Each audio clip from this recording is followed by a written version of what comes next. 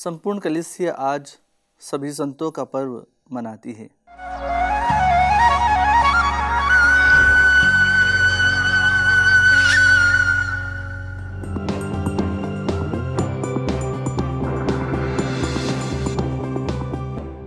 आत्मदर्शन TV के सभी दर्शकों को मेरा प्यार भरा जय जयशु आज हम सभी सभी संतों का पर्व मनाते हुए संपूर्ण कलिसिया के साथ, बहुत ही उत्साह के साथ, उमंग के साथ सभी संतों को याद करते हैं, उनकी मध्यस्थ प्रार्थना मांगते हैं।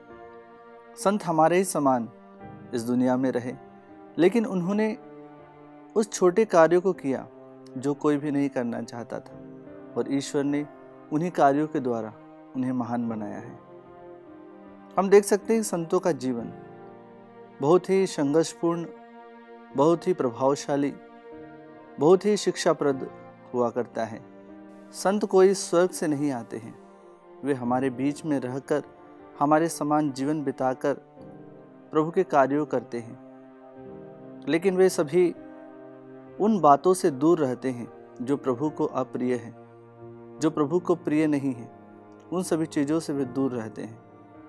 तो इसीलिए उनका दर्जा हम सभी से ऊपर उठ जाता है।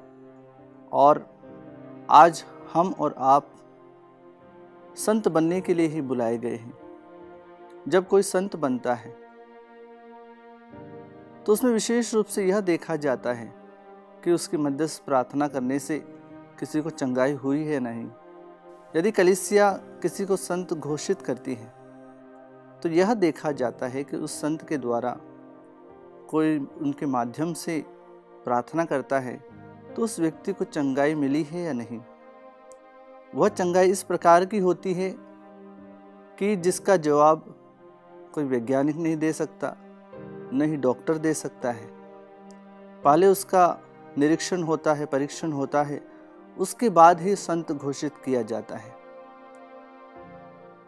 वह चमत्कार सभी रूप से, सभी प्रकार से इस मानवीय कल्पनाओं के परे रहता है तो इसीलिए उसे संत घोषित किया जाता है।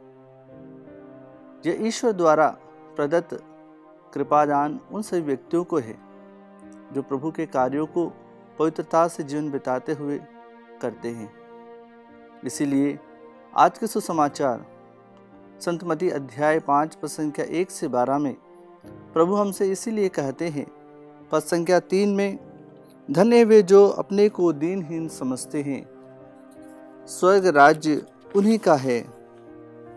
आज प्रभु हमसे कहते हैं मती अध्याय पाँच, पद संख्या एक से बारह में, पद संख्या तीन में प्रभु कहते हैं, धन्य है वे जो दीनहीन है, स्वर्ग राज्य उन्हीं का है। प्रभु पद संख्या चार में कहते हैं, धन्य है वे जो नम्र हैं, उन्हें प्रतिज्ञा देश प्राप्त होगा। धन्य है वे जो शोक करते हैं, उन्हें सांत्वना मिलेगी। धन्य है वे जो धार्मिकता के भूखे और प्यासे हैं, वे तृप्त किए जाएँगे। धन्य है वे जो दयालु है, उन पर दया की जाएगी। धन्य है वे जिनका हृदय निर्मल है, वे ईश्वर के दर्शन करेंगे। धन्य है वे जो मेल कराते हैं, वे ईश्वर के पुत्र कहलाएँगे। धन्य है वे जो धार्मिकता के कारण अत्याचार सहते हैं, स्वर्ग राज्य उन्हीं का है। प्रभु आगे कहते हैं कि धन्य हो तुम जब लोग मेरे कारण तुम्हारा अपमान करते, तुम पर अत्याचार करते और तरह तरह के झूठे दोष लगाते हैं। जी हाँ कृष्ण प्रिय भाई और बहनों, इन सभी गुणों का एक संत में होना बहुत ही आवश्यक है।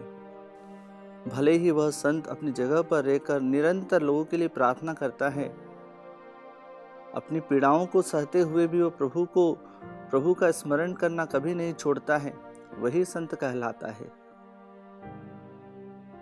इसीलिए आज संपूर्ण कलिसिया संतों को याद करती है।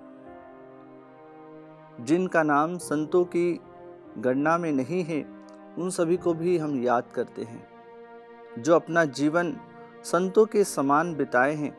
और हमने देखा होगा कि हमारे गाँव में, हमारे शहर में, हमारी पल्लियों में कि किस प्रकार से कई लोग संतों के समान जीवन बिताते हैं और वह ईश्वर को प्राप्त हो जाते हैं। आज हम उन सभी को भी याद करते हैं, क्योंकि हर कोई संत बनने के लिए बुलाए गए हैं। आइए कृष्ण प्रिय भाई और बहनों, आज हम विशेष रूप से सभी संतों की मध्यस्थता मांगे, उनसे प्रार्थना मांगे कि वे स्वर्ग में हम सभी के लिए निरंतर, हमेशा हमेशा के लिए, प्रभु की स्तुति के लिए, प्रभु की आराधना के लिए हम सभी के लिए प्रार्थना करते रहें। आमीन।